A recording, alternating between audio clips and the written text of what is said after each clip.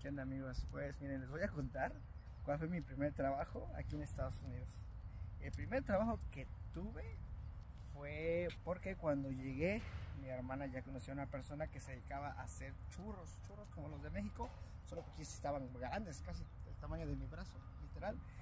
Y la manera en que se trabajaba es que esa persona hacía los churros, te daba unos 100 churros cuando eras nuevo, 70, y él ponía el carro y la gasolina y en ese tiempo íbamos de San José, California, San Francisco a venderlos en el centro y te ganabas un dólar por churro. Eso era como lo más rápido que podías agarrar y esa persona era de un pueblo ahí de por mi ciudad y usualmente trabajaba pura persona que llegaba con él, él les hacía el paro y te daba trabajo.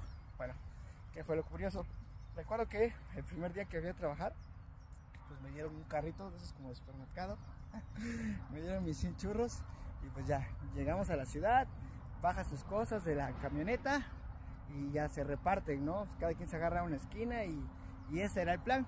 Bueno, yo, pues ahí uno va ahí pendejeando, recién llegado y recuerdo que llegué a un cruce, estaba esperando que el muñequito se pusiera verde, en eso se pone verde y empiezo a caminar con mi carrito y me pasa lo que ya se imaginarán, me topo con una de esas líneas y mis, todos mis churros.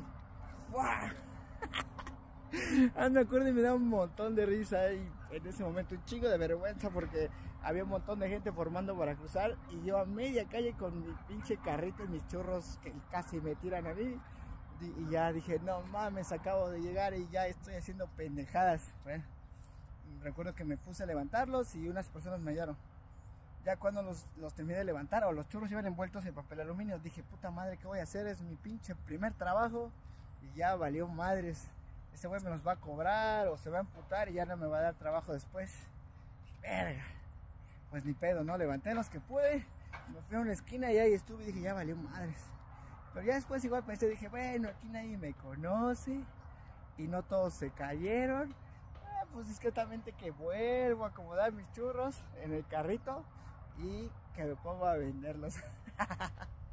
Ah, es que era mi primera vez, mi pinche primer día de trabajo, pues ni modo de quedar mal. Recuerdo que ese día, este, sí vendí, acabé todos mis churros y creo que fueron mis primeros como 60 dólares que me gané. Ah, más o menos como mis primeros 60 dólares o 40 dólares, no recuerdo bien. Pero fue, la, fue como mi, mi primera ganancia, así que pues esa es una historia graciosa y ese fue mi primer trabajo. Solo estuve unas, unos días, unas semanas porque ya después me consiguieron mi segundo trabajo y luego les platico ahí las, las historias, ¿sabes? Saludos.